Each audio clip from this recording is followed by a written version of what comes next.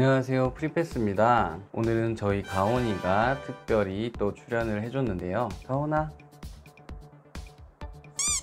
네 반응이 어? 반응이 있네요. 자 이번에는 직장인 대학 사이버 대학이나 방통대 학점은행제 과연 뭐가 좋을까에 대해서 한번 말씀드려볼까 하는데요. 많은 분들이 여러 가지 다양한 이유로 직장을 다니면서 대학 졸업장을 필요로 하시는 분들이 상당히 많은 것으로 알고 있는데요. 그래서 오늘은 직장인이 다니기 좋은 대학 컨텐츠로 사이버 대학, 방통대, 학점은행제 이렇게 세 가지를 비교해보는 영상으로 준비해봤습니다 그럼 시작하기 전에 구독과 좋아요, 알림 설정까지 먼저 좀 부탁드리고 시청해주시는 센스 부탁드릴게요.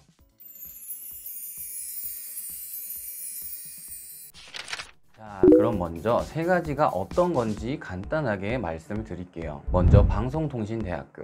우리나라 최초의 국립 원격 교육기관이면서 고등학교 졸업 이상의 학력이라면 누구나 다 입학이 가능하죠. 거기다 원격 대학 중에서는 국내 최상위 인지도를 보유하고 있습니다. 하지만 최초인 만큼 학사 관리가 엄격하여 입학 후에 중도 포기를 하는 경우가 많다고 해서 입학생 대비해서 졸업률이 현저히 낮은 편이죠. 그것도 그럴 게 최초인 만큼 아무래도 서울대 원격 기반이기 때문에 난이도가 조금 어렵다고 알려져 있습니다. 다음은 사이버대학교. 사이버대학교는 대학에서 운영하는 사립 원격교육기관인데 사립인 만큼 등록금은 비싸지만 장학제도는 여전히 대학과 비슷하게 운영이 되고 있고 말 그대로 사이버 대학교 이기 때문에 수업이 원격으로 진행이 될 뿐 2년, 4년 정규 기간을 이수해야지만 졸업이 가능하면서 사이버 대학 총장 명의로 졸업장을 받을 수 있죠. 실제로 수강도 해보기도 했는데 솔직히 말하면 이것도 저한테는 조금 어려운 것 같아요. 그냥 대학 졸업장이 필요해서 한다고 하기엔 신경을 써야 하는 부분이 꽤 있는 편이지만 다양한 전공을 공부 목적으로 한다면 좋은 편입니다. 세 번째로는 학점은행제인데 평생교육 진흥을 위해 세워진 제도이며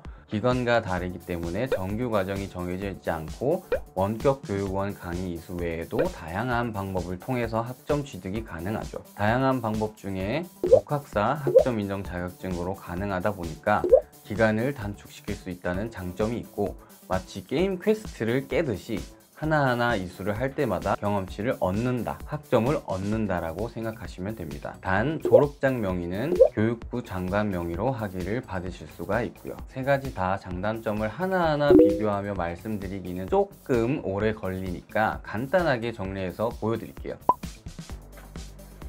자 지금 보시는 사진처럼 간단하게 정리를 해봤는데 첫 번째 난이도적인 부분을 본다면 사이버 대학교는 시험을 볼 때 오프라인으로 시험을 요구하기도 하여서 실제로 공부를 하지 않는다면 시험은 망할 수도 있다는 점이 크게 다가오는데 과목을 이수하지 못하면 등록금이 너무 아깝죠.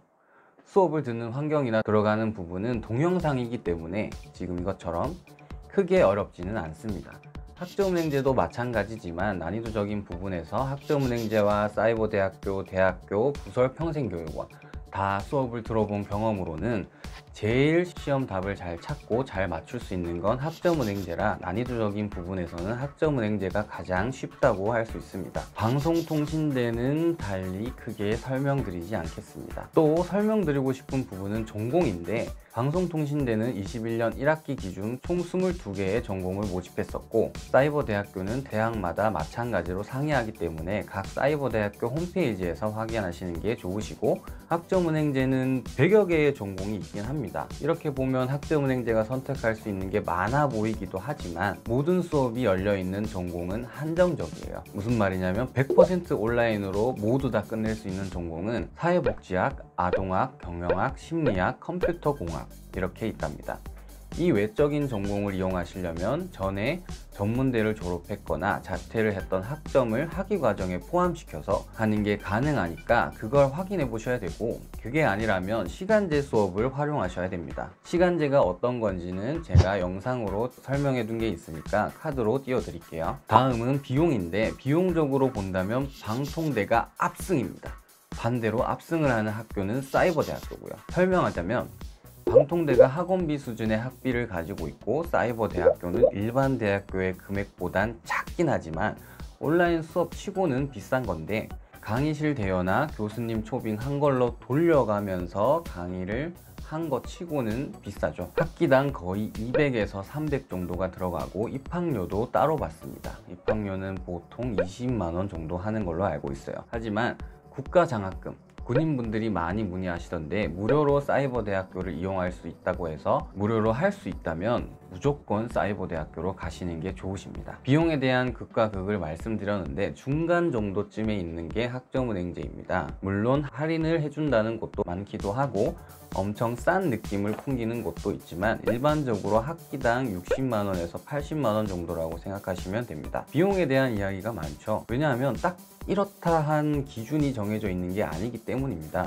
저는 그래서 중립 입장에서 정확하게 말씀드리고 싶은 부분은 학점은행제에서 도와주는 사람 이 아마 있을 거예요. 그 사람이 마음에 들면 그냥 아무 이유 없이 그 사람한테 하시면 비용적으로나 관리적으로나 큰 문제가 없을 것 같습니다. 이건 정말 팩트입니다. 다음은 소요기간과 졸업장 발급인데 사이버 대학교와 방통대는 정규 기간으로 진행이 되고 방통대는 4년제만 가능하다 보니까 졸업 기간이 4년이 걸리는데 사이버 대학교는 전문대 과정도 있어서 2년제와 4년제 둘 다 운영이 가능합니다. 둘 다 총장명의 졸업장이 발급이 되는 것도 똑같죠. 어떻게 보면 똑같은 졸업장을 받는 건데 정규라고 하니까 조금 더 끌릴 수도 있고 졸업장 명의도 총장이 되다 보니 단순히 대학 졸업장이 필요한 게 아니라 부수적인 것들이 필요하신 분들은 사이버대학교와 방통대 중 원하는 학과로 입학을 하시는 게 맞습니다. 비용과 난이도를 떠나서요. 자, 그럼 학점은행제인데 정규 기간이 2년제와 4년제에 맞춰지는 게 아니라 원하는 기간을 설정하면 그 기간 안에 맞게 졸업장 취득이 가능하지만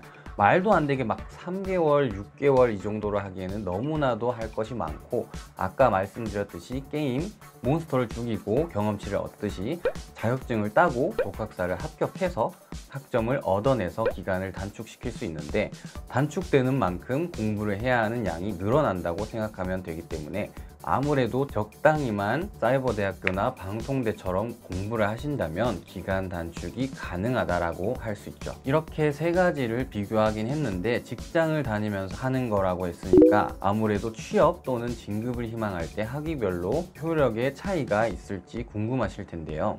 사실 학위 자체에 효력의 차이가 없습니다. 하지만 사회적인 인식에 대해서 궁금하신 분들도 계실 테니까 말씀드리자면 대기업 기준으로는 그냥 일반 대학교 가시는 걸 추천드리고 중소기업은 사이버 대학교와 방통대가 아주 조금 더 인정이 되고 학점은행제가 인정이 덜 됩니다. 일반 기업에서는 사이버 대학교, 방통대학교, 학점은행제 모두 똑같다고 볼 수 있죠. 음, 하지만 누구나 들어가고 싶은 건 중소기업 이상인데 학점은행제가 제일 이수하기 괜찮아 보이기도 하고 적당한데 효력 인정되는 부분에서 조금 덜하다면 하고자 하는 욕구가 떨어질 수도 있겠죠. 해서 다른 방법의 루트가 하나 더 있습니다. 그건 바로 편입인데요. 학점은행제를 이용하고 편입 조건을 갖추고 방통대나 사이버대학교로 3학년 편입을 하는 방법이 있는데 이건 일반 대학교도 마찬가지입니다. 사실 학점은행제가 가장 많이 활용되고 있는 게 편입이라고 봐도 과언이 아니죠. 빠르게 편입 조건을 갖춰서 3학년으로 편입한다면 기간을 단축하면서 낮은 비용으로 준비하고 원하는 총장 명의의 대학 졸업장을 받을 수도 있으니까 효율적인 부분이 있기도 해요. 어차피 편입할 거라면 굳이 어렵게 갈 필요는 없잖아요. 편입에 대해서는 제가 만들어둔 영상이 있으니까 그걸 참고해 보시면 될 것 같아요. 또 효력이 필요 없는 곳에서도 많이 활용되기도 하는데 편입과 같이 간호대학을 진학하시려는 분들도 대졸자 전형이라는 것의 조건을 맞추기 위해서 전문대 졸업장을 빨리 쉽게 따서 간호대학 입학으로 간호사를 꿈꾸는 분들도 있고 승무원이 되기 위해서 단순하기가 필요하니 승무원 지원을 위해서 하는 분들 그리고 대학원에 들어가기 위해서 필요로 하는 분들 기사, 산업기사를 따기 위한 조건을 만들려고 하는 분들. 하나의 대학 과정이긴 하지만 여러 가지 목적으로 직장인 분들이 활용하고 있죠. 어, 여기까지 직장을 다니면서 하기엔 어떤 것이 더 괜찮을까에 대한 부분을 설명드려 봤는데 도움이 되셨다면 바로 구독과 좋아요, 알림 설정까지 꼭 좀 부탁드릴게요. 궁금하신 부분이 있으면 언제든지 댓글로 문의해 주시고 긴 영상 시청해 주셔서 감사합니다.